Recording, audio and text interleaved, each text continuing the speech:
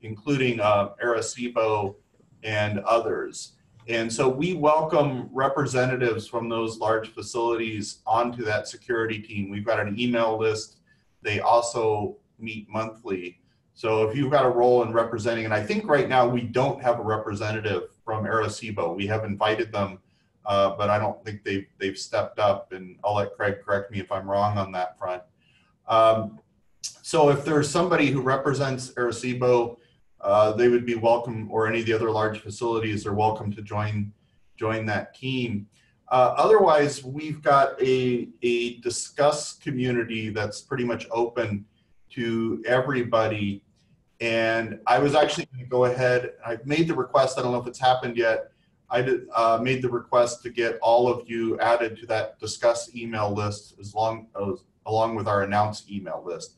I think both are fairly low enough volume, you won't find them annoying. If, uh, you decide that that was a wrong move on my part, please let us know. We'll, we'll get you taken off and, you know, we're, we're learning for next time. But I think you'll find those uh, valuable lists with announcements and everything about um, what's going on. And it's, it's, those are, are good places to sort of ask community questions. And then of course, you know, as fellows, we're, we're working on what exactly the right channel is, but you should feel free to send questions to that fellow 2019 fellows list that we've set up. And we'll watch that. And if you've got, you know, question, you know, questions of a technical nature about cybersecurity, um, we can help on that list as well if you want a little bit more closed group, or if you feel it's really private, you know, feel free to email Dana or I directly, and we can help you on, on that front. Is that helpful, Shavak? Yes, that's excellent. So I think, yes, please, uh, I would like to be part of that and uh, we can kind of communicate on email on that. That, that should be fine. Great. That should that should be in the works. And um, I've sent the request to the, the, support team here and they should be getting you added um, uh, soon now. Probably, I'm a little surprised they haven't done it already. I suspect just backlog. Any other questions from the from the, the cohort?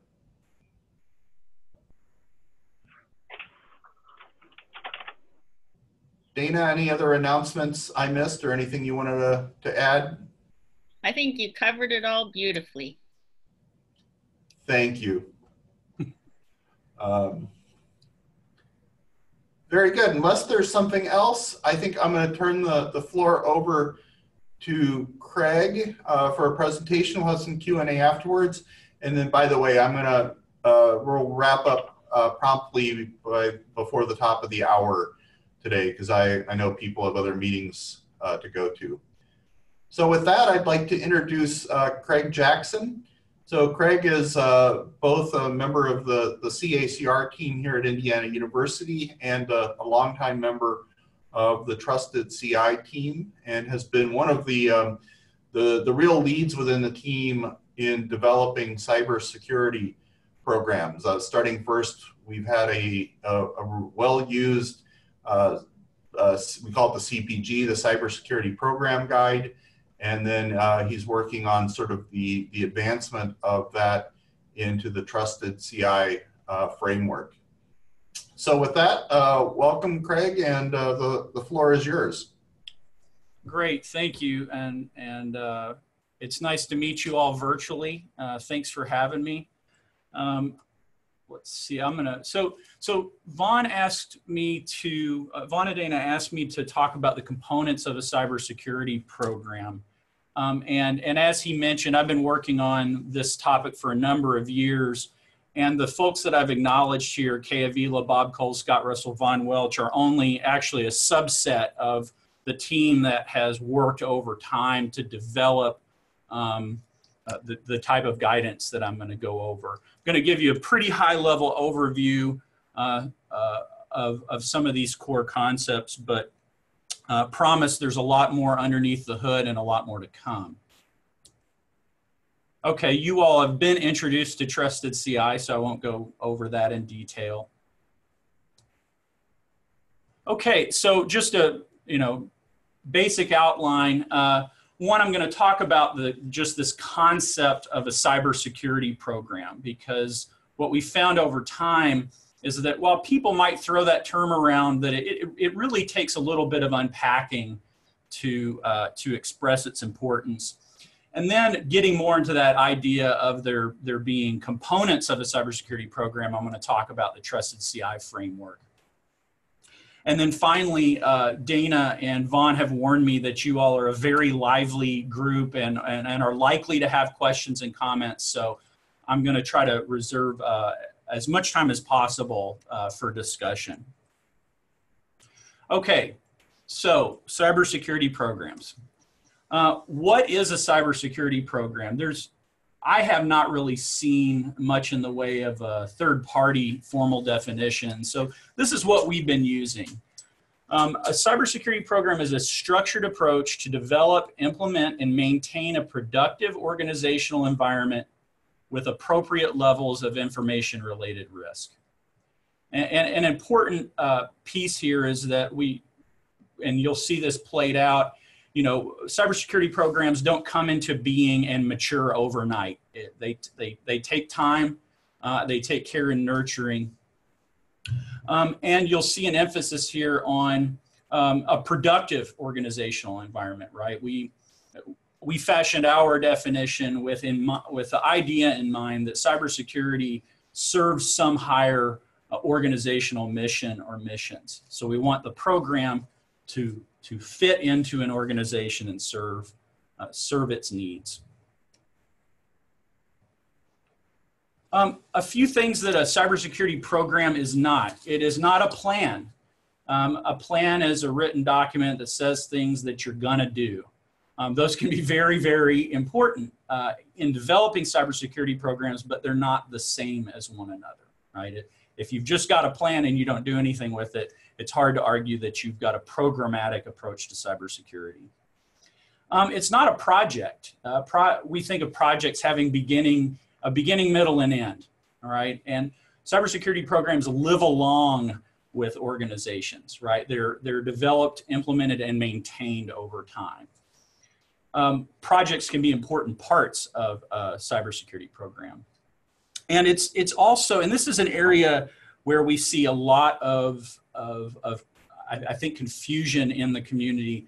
A cybersecurity uh, program is more than just a set of controls that you implement. And I'm going to speak a little more to that third point.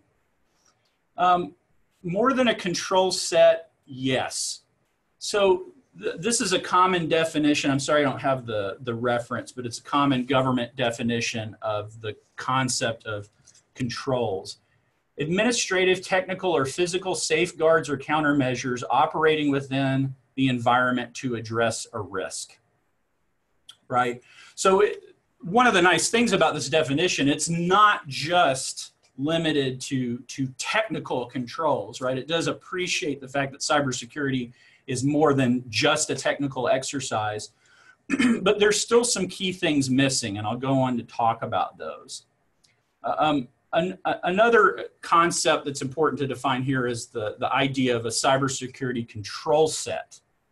Uh, control set uh, describes a group or a set of controls that might be appropriate for an information environment, that might be required for an information environment. So examples of these include the CIS controls, uh, that's my favorite, uh, formerly known as the SANS Top 20. Um, Australia is well known for, for their baseline control set. It used to be the top four, now it's the essential eight. And then you have uh, a number of control sets that have come out of NIST, including um, the infamous 853. Um, controls and control sets are important, but there's more to a program.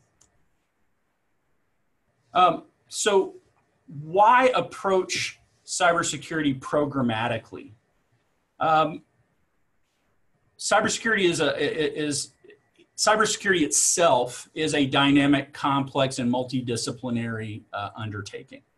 Right, it's going to take more than a than a quick startup process to for an organization to handle cybersecurity with any sort of competence or maturity.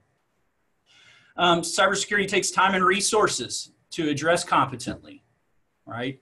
Um, if you know, if if somebody comes along and says, "Here's 10 controls" or "Here's 100 controls," make it happen. You're going to have to find uh, time, people, money, resources to uh, to do that. Um, cybersecurity is always uh, relevant, regardless of project phase. So, in uh, in a lot of the science projects that we work with, um, or we work with a number of science projects that are at varying phases in their life cycle, and it's uh, it it's it's very helpful and relevant if you start thinking about cybersecurity early, and you think about um, the, uh, the the the life cycle for your organization. Is this an organization that ideally will last uh, forever? Um, what is the time scale that you live in? Um, and approaching cybersecurity programmatically, um, among other things, allows for prioritization. Right, you're not going to get everything done all at once. I've said that a couple of times now, but it's worth repeating. And it also supports good project management. Right, you can have multiple projects and ongoing activities across time and space to make progress toward a, a state of of, of reasonable security, if you will.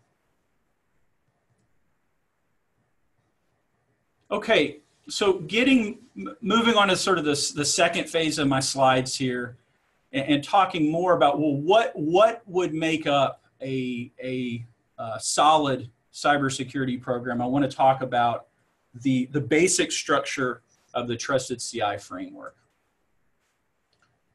Um, so a couple of things about uh, about the motivation be- behind Trusted CI developing its own cybersecurity framework. There's lots of other cybersecurity frameworks out there in the wild. Um, so why would we think that we you know that we need to develop uh, our own? Um, the for me these are the the core reasons. Uh, one, uh, the cybersecurity community generally lacks a comprehensive, comprehensible minimum standard for cybersecurity programs. Well, I'll, I'll get more to the comprehensive piece, but um, an important thing for us is that folks who make decisions be able to wrap their head around and understand what's being asked of them if we're going to say hey you need a cybersecurity program we need to express these things in a way that that makes sense to people who aren't necessarily cybersecurity experts. Um, two, um, existing cybersecurity process frameworks tend to be expensive or impractical to implement effectively. I'm happy to talk about this one more later, but I'll ask you to, to, to, to trust me. There's a lot of evidence uh, behind that for the moment. And three, uh, many, uh, sorry, many auditors, leaders, and policymakers confuse implementing a bunch of controls with standing up and maintaining a competent program. Um, and in particular, there's a couple of pillars. You're seeing the, the, the four different colored pillars on the right. There's a couple of pillars where um, a lot of the existing frameworks and approaches that we see out in the wild um, uh, uh, fail to adequately address. So the, the goals that we have uh, uh, for uh, the framework are um, one, uh, develop an in initial framework implementation guide oriented toward research centers and medium to large scientific uh, infrastructure projects. So it really gets down into the nitty gritty of both uh, what to do, how to do it, what are the great resources for that community uh, that will help them build good cybersecurity programs. Um, to put other frameworks and control sets in perspective. Von. Yeah, Craig, there was a, a, question in the, the chat about how a cybersecurity program works with a research compliance office. Yeah, absolutely. I think that um, th- that's a good question. And that's one of the questions that we always hear. And I, I think when we get a little further in the slides, I'll, I'll be able to point out some specific places where that would be relevant. Um, I would say that, uh, but but a general answer now is uh, research compliance is is important, but it's not the the, the end all be all. I think the folks that stand up and run a cybersecurity program are absolutely going to need to look to uh, compliance folks as as resources, as guides, um, as important stakeholders. Um, and I, I, think you'll you'll see in our framework how that how that plays out. But generally speaking, uh, what I at least for what I've seen, you don't you don't see research compliance offices standing and standing up and actually running a cybersecurity capability. Two two other questions in the the chat. One was uh, asked if people can share these slides, and I've told them yes, they they should feel free to be able to share these. Uh, and then the other question was a question about cloud resources, and you know, pointing out that we use cloud resources quite a bit in research, and we make the assumption that they're secure, and questioning that you know, should we be doing that? Yeah, uh, gr- another great point, um, and and a really hot topic considering the way cloud uh, intersects with the controlled and classified information compliance topic. That's that's uh, that's increasingly getting attention and anxiety across the community. Um, again, I think as a minimum standard, uh, the trusted CI framework will definitely direct folks to think critically about uh, using outside resources. And th- that, that goes in, in two directions. One, if you, you to use good third party resources, you got to place some trust or accept some risk. And at the same time, sometimes it's better to outsource capabilities to, to, to organizations that already have a more mature or complete or compliant approach to security. So um, I would say, yeah, cloud is a big deal, and it's to me, it's not a, uni- a universal good or a universal bad. It requires due diligence and some thought. And uh, the group is living up to my my high expectations with another question. Feel free to work these in later if you want. Uh, I'll summarize this. I think the question's asking for, you know, you're making a number of assertions here about what works and what doesn't work and sort of asking, you know, is there what's the evidence behind these things? Yeah, I mean, I'm happy to talk to the evidence behind any number of. Here, I'll go back to this motivation slide. Um, yeah, it. Look, I, let, I would propose we come back to that. I, I, love to talk about these topics, and I'm happy to, but I, I could, I could, I could easily go on for a long time. Okay. Well, let me say we'll we'll let you cover it then in your talk, and uh, ask them to re-raise it if they get to the end and don't feel you have. Yeah, absolutely.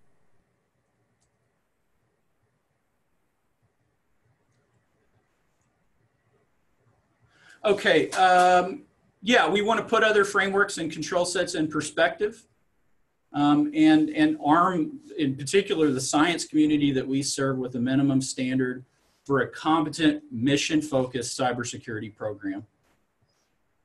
Uh, three, uh, we're hoping to achieve early adoption by a diverse set of stakeholder institutions and facilities. Um, not only to, to be able to show, hey, people are using this, but to have a set of stakeholders who can give us feedback so we can continue to evolve our guidance. And, and uh, then also uh, ideally have a, have a product and an approach that's, that's solid enough that um, we get buy-in from key stakeholders like NSF. Okay, so the I, pro I, probably only have five to five to ten more minutes before we get to uh, to Q and A. So don't worry. Um, so the basic architecture of the Trusted CI framework. Uh, one, there what we call the framework foundation is uh, made up of 16 concise uh, clearly stated minimum requirements for cybersecurity programs. Uh, these requirements are organized under four pillars. Uh, they are mission alignment, governance, resources, and controls. Um, this, uh, these minimum requirements are based on cybersecurity best practices and evidence of what actually works out in the world. Um, the foundation emphasizes programmatics that are too often ignored or assumed, particularly those first three uh, pillars. And one of the things that we anticipate is that the foundation framework we probably will not need to update with any sort of great frequency. The, the other big architectural piece is uh, we're going to be producing, and we, I've already mentioned we've got queued up to produce the first uh, implementation guide where we take those high level requirements uh, and break them down for a particular audience right? So so with the uh, the first fig we'll be giving guidance that's vetted by and tailored to the open science community. Um, the the guide will uh, an important piece of this will be a number of a, a great number of curated pointers to the very best resources and tools those might be general cybersecurity resources and tools, or they may be uh, guidance resources and tools that are that are very tailored to uh, the scientific enterprise. That we've seen some some great in, innovations um, in uh, cybersecurity, identity management, and related areas that have enabled science while still working to secure it. So we want to make sure that uh, that this audience is aware of those and gets pointers to them.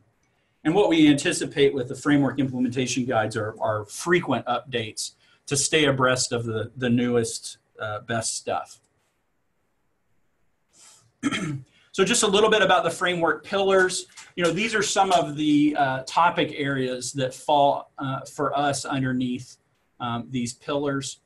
Um, if you're, uh, you know, if you're familiar with with general cybersecurity concepts. You'll see a number of things that are familiar.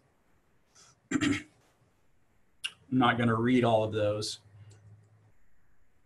But then uh, slides, uh, uh, or the next four slides, starting with 15 here, these are our current, we're fairly confident in these drafts of these 16 musts or requirements. We've just been calling them the musts forever um, and, uh, and, continue to do so. The, these are the mission alignment musts. Uh, there's an emphasis on organizational mission, stakeholders, understanding requirements, which would include you know, security compliance and privacy compliance requirements. Um, and then uh, three and four are very much about uh, sort of know thyself, having a deep enough and complete enough understanding of your uh, cybersecurity, your information environment uh, to know what you need to protect. Um, these are the, the governance musts. Um, there's, a, there's more governance musts than any others, and, and we, we suspect that that's uh, just evidence of how important it is to, to really get down to the basics with this one. Um, organizations must involve leadership must uh, formalize roles and responsibilities for risk acceptance, must have a lead role for cybersecurity.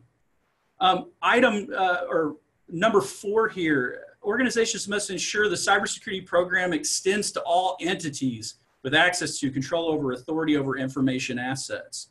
This is one of the areas where I very much anticipate that our in our implementation guides will be will be talking about um, the use of cloud um, in the, the research enterprise. Um, some policy is necessary. You don't necessarily need one of everyone, but to have a competent program, you need some cybersecurity policy, particularly policy that would address these other musts.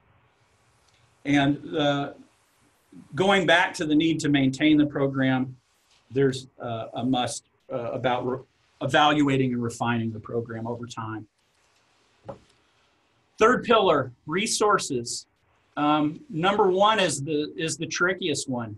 Organizations must devote adequate resources to mitigate cybersecurity risk deemed unacceptable by the organization. Um, that might seem obvious, but part of what we do is state the obvious. If, if a risk is unacceptable, then an organization needs to uh, devote adequate resources to address it um, must establish and maintain a budget. Sorry.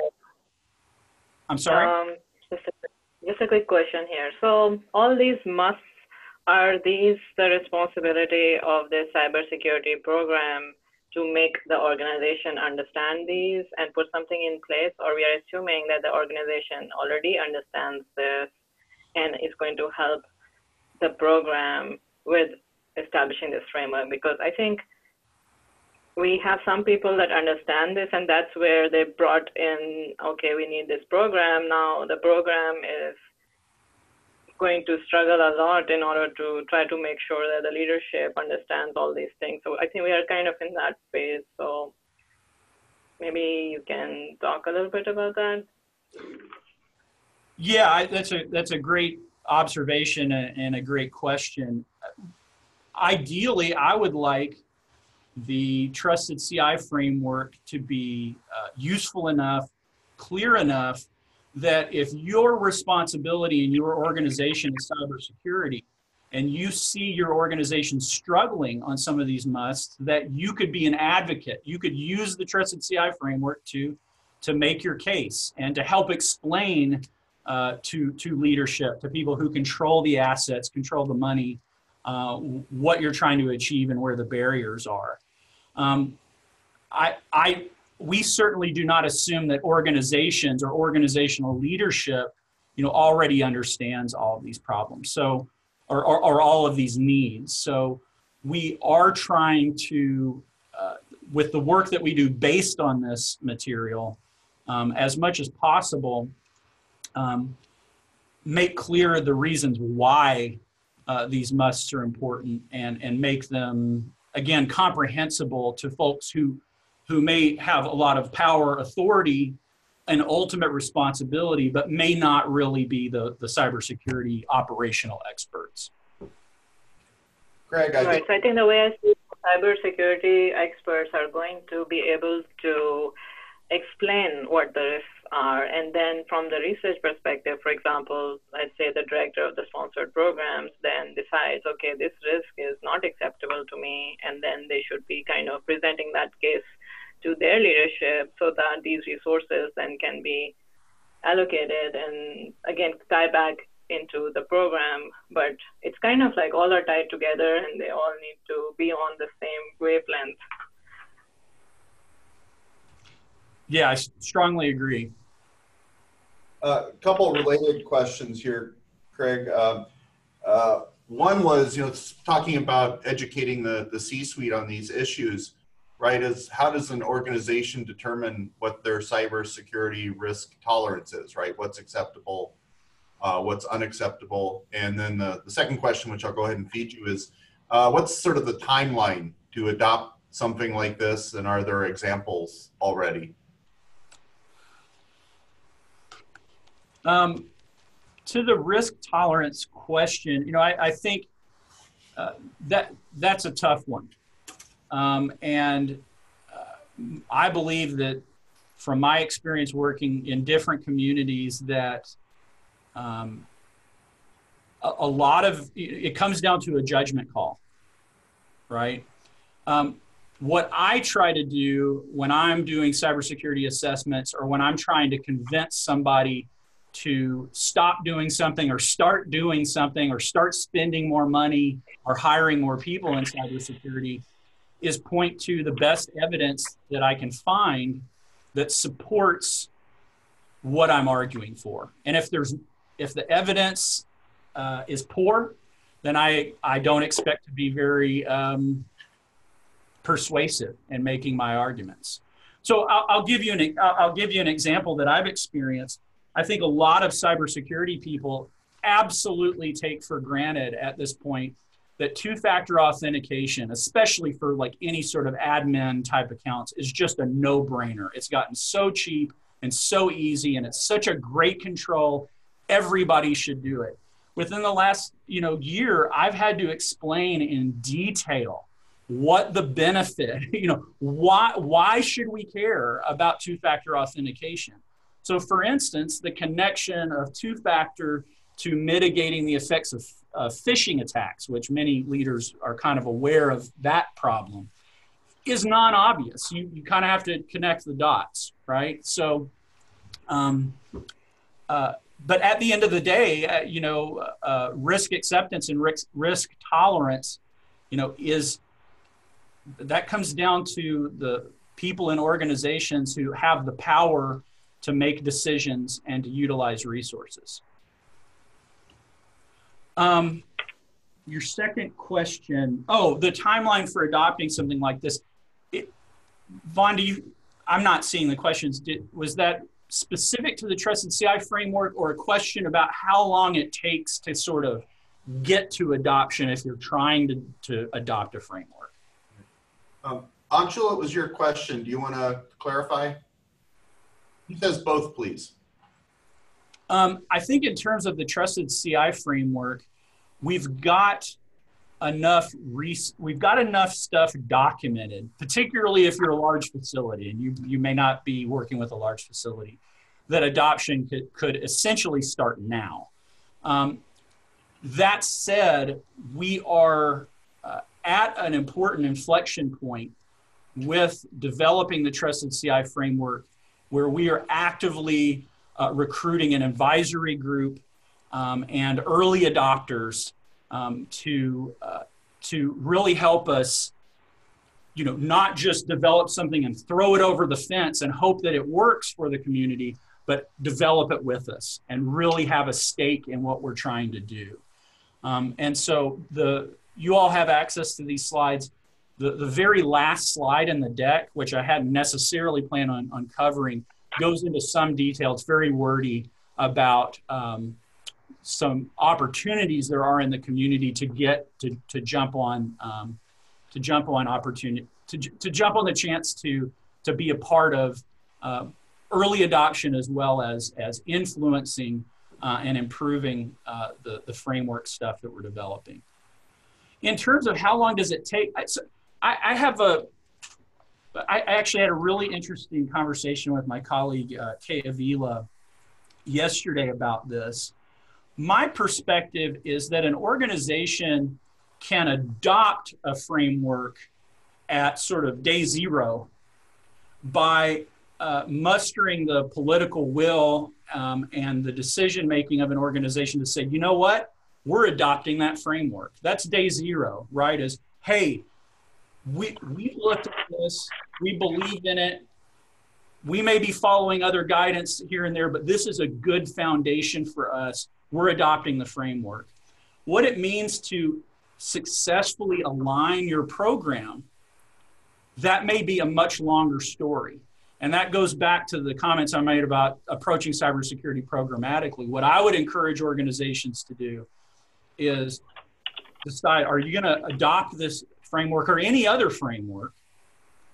And then develop plans that allow you to make progress on the the musts that are uh, that you you don't already have squared away and um, best case scenario an organization could do this quickly i've seen organization i've seen large research organizations that have gone from very immature to getting very serious about cybersecurity um, for for lots of good reasons, including being successfully attacked. And it still takes years. It's not, you know, you're not going to knock this thing out in a quarter. It takes time, particularly if you're trying to find budget money, particularly if you're trying to hire people. I don't know about you all at Indiana University, it takes a little while to hire people. And then when Von is setting the rules, and it's like you have to be extra rigorous about it. So those those sort of things take time. Um, and so that that's why I emphasized earlier um, project management.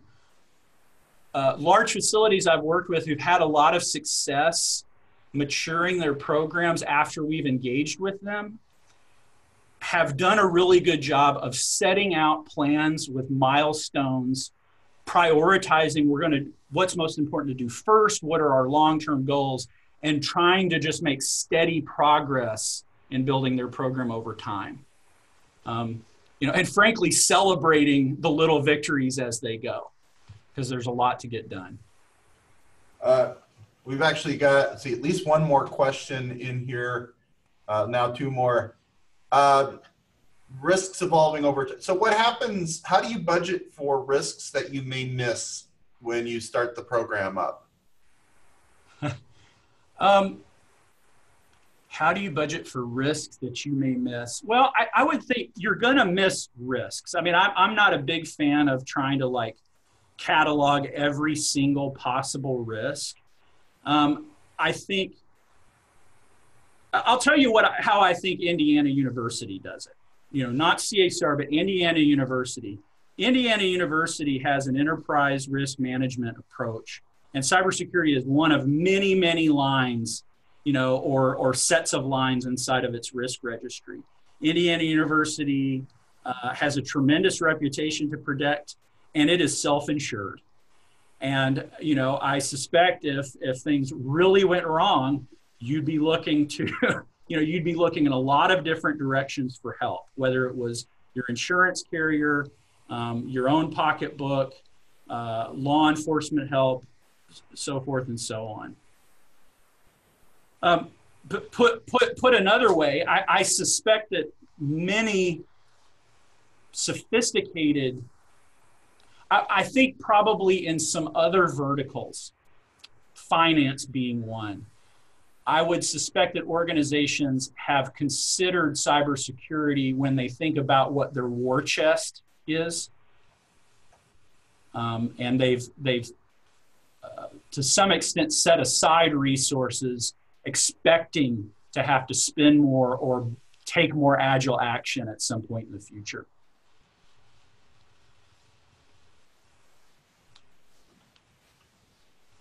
And I, I, realize I'm, you know, I'm just one person sitting here, you know, giving my opinion, and and unfortunately, we I work in a space where I can't always name names for some of the organizations that I've where I've seen this happen, but I'm gonna trying to give you guys the best responses I can. just to fin- just to finish with that question, sorry to. I, I was referring to, for example, if at the time of budgeting, uh, there's many things that you, you don't know, and there's many incidentals. Is there any rule of thumb that you can say yes. in your yes. experience, like 10% or 20% extra just for incidentals?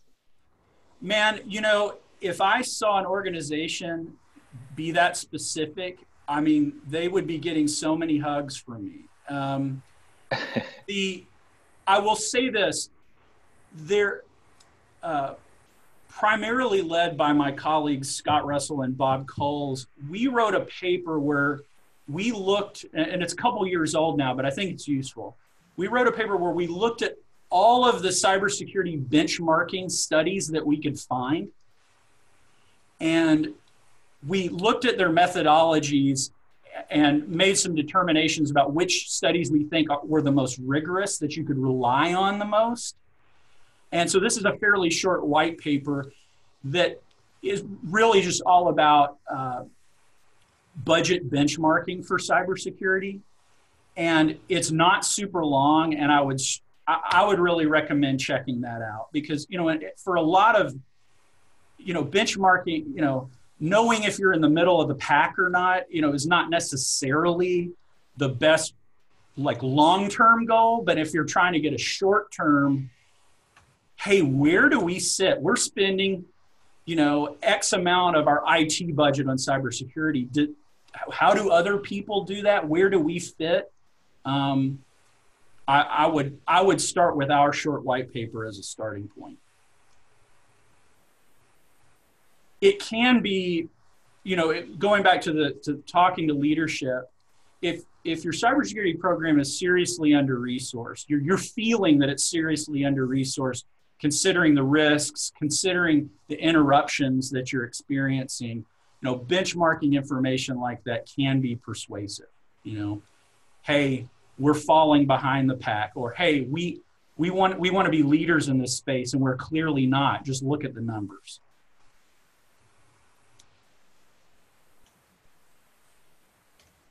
Um, I have I, I just have one more slide, and then I'm very happy to keep you know answering questions and stuff, but I, I want to hit it in part because it's just one more slide. Um, you'll notice uh, frame the, the last set of musts here, the, the last pillar is controls. Only a couple here. Um, organizations must adopt and utilize a baseline control set, and organizations must select and deploy additional and alternate controls as warranted. Um, the reason for number one is, you know, we Trusted CI is not in the business of developing baseline control sets. The reason that we're not in the business is uh, there are some very good ones out there.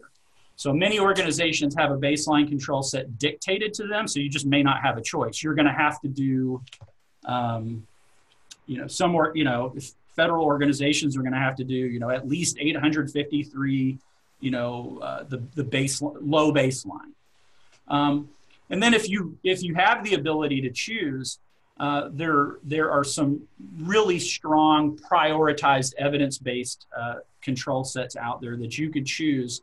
Um, not that you have to treat them as a must-do checklist, but you can adopt and utilize that baseline control set um, as a as a really good starting point, especially for your just traditional IT needs. And then uh, item two, this circles back to mission right? Uh, organizations must select and deploy additional and alternate controls as, as warranted. And so a lot of things will go into, into that calculus. But um, alternate controls can be, for we, you know, working with the open science community, alternate controls to the standard old way of doing things can be, can be very, very important considering the very open, collaborative, federated types of environments that we work in. Okay, I, I hit all my substantive slides, so thank you for, for letting me get through those. We are officially at questions.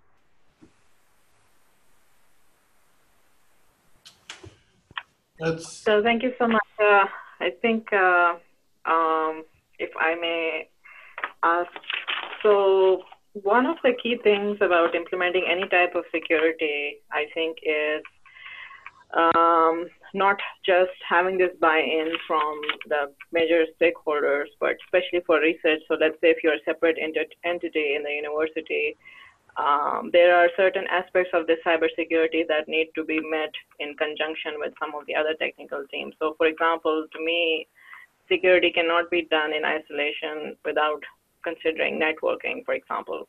And so networking is a, let's say, a central entity, and they are completely focused on enterprise goals. And research has a very separate, uh, you know, regulation-based needs that need to kind of comply with that may not necessarily translate into enterprise. So, how do we go about kind of getting what we need to establish for the researcher, but for the research community, but mm, somehow in an independent fashion, I don't know what's the right way to ask this question, but because you know we are being governed by different goals as well as different timelines and uh, deadlines, and that's completely different from um, some of these other kind of entities in the university that may not necessarily be ready for this right now um, and because they, they're not directly, let's say, supporting the research goals. Um, so how does this framework help us in that? Um, I think for you, the you know the single so so the must that I go back to is organizations must identify and account for cybersecurity stakeholders and requirements, um, and just that that very first must about tailored to the organization's mission. And I think uh, key here is uh, cybersecurity personnel, whether they have that official title or not, uh, do do have to play a horizontal role of coordinating among multiple groups um, and understanding different perspectives. So. Um, I know that when we when we do assess, I, I I'm involved in a lot of cybersecurity assessments. When I do assessments with a science organization, it is always very valuable to get some of the researchers in the room and say, what are your right. concerns, and talk to them about it. Why is this annoying you? What are the problems? What are your greatest concerns? Um, and uh, so I, I, think you know get getting those voices to the table. Um, you know, to, to me is is step one. Um, I also think, and I strongly suspect, I don't want to put these these guys on the spot, but I, I suspect that you'll you'll have some other sessions that really go to this as you as you move forward um, in your fellowship.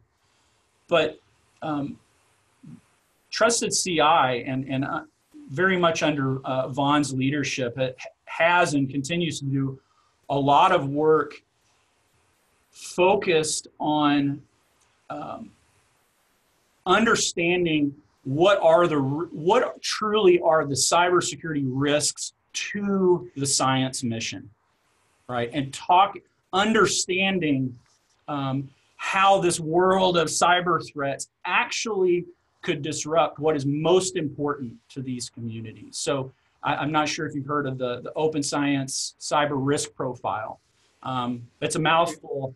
It's all about um, engaging uh, the, the science mission and thinking about what is going to be most important for the cybersecurity program. Yeah, I think what happens sometimes it gets lost in the translation where compliance is so focused on compliance, but the primary goal is to advance the research. It's it's you have to focus on the capabilities. What is it that the research is trying to achieve? Because when you ask the researcher, which we did as that first step, no one tells, "Hey, I need a compliant this thing." All they talk about is what they need to get the research done. Yeah. So the compliance expert is supposed to allow them to do that and understand that the, you know, the the primary goal is to facilitate the researcher to do their best possible research, but minimize the risk. Uh, that needs to be, you know, so I think that's going to be a challenge. You know, I, I will, I, I completely agree. I will say this, that, um, you know, if you work in an environment, in an environment where the cybersecurity function is separate from the research compliance function, and those can be different voices, I think that's a good thing. Because from, from my from my perspective, too often the, the, the CISO, you know, the cybersecurity people are put in a position where they're supposed to secure the, the mission, but they don't actually have the power to do much of anything, right? All they can mm-hmm. really do is make recommendations. But I, th- I think uh, it, one of the things you'll, you'll see here this is very specifically worded under the governance pillar, the third, the third must. Organizations must establish a lead role with responsibility to advise and provide services to the organization on cybersecurity matters. We could have said um, a lead role with responsibility to secure the organizational mission. Well, that would be that would be a mistake, right? Because ultimately, you know, responsibility to secure the organizational mission flows up that's a leadership uh, responsibility. Mm-hmm. Delegated. If it's delegated all the way down to the CISO, you're going to pro- you're, uh, where we've seen that you're going to have problems on your hands.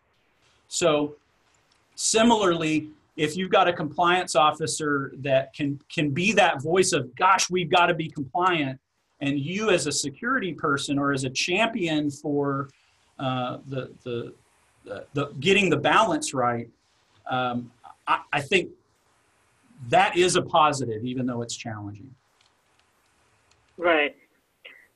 Yeah, I think I would let other people answer. Maybe I can follow up in emails if that is okay. So, uh, this is Jay. Uh, I want to follow up the question that was just asked. So, in, just like any other uh, priorities, initiatives, programs in a university or any organization, it's, it's a matter of resource uh, and um, staffing and mm-hmm. convenience and so on and so forth, right? Um, I think that I saw your framework. I, I think this is not a criticism, just more of a practical thoughts, right? So, so this looks very challenging for, to my knowledge, that for most of the organization to to really do all of these musts, and is that a good approach?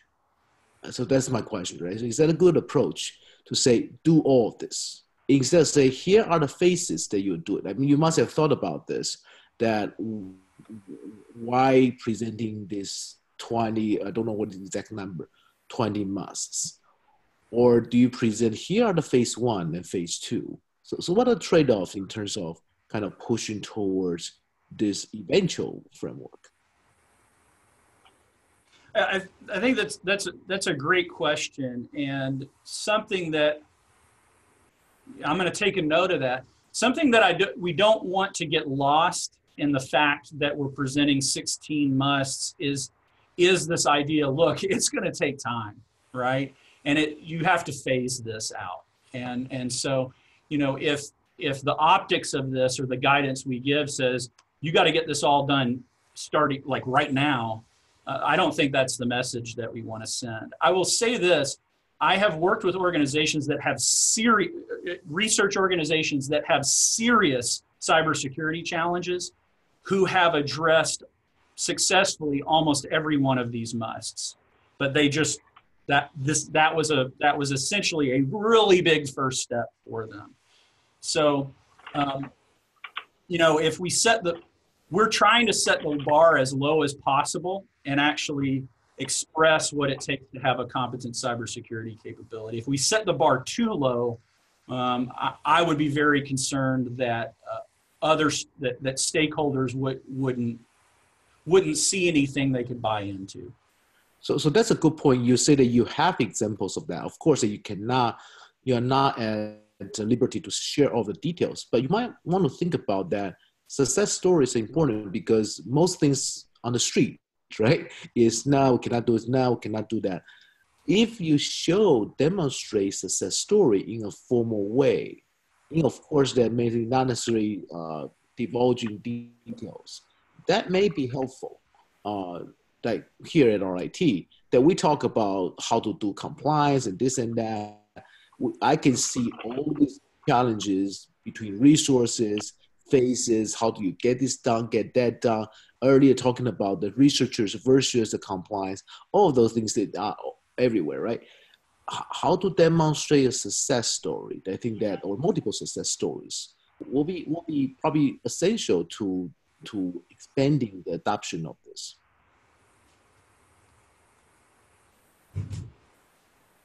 Great point. Great feedback. Thank you.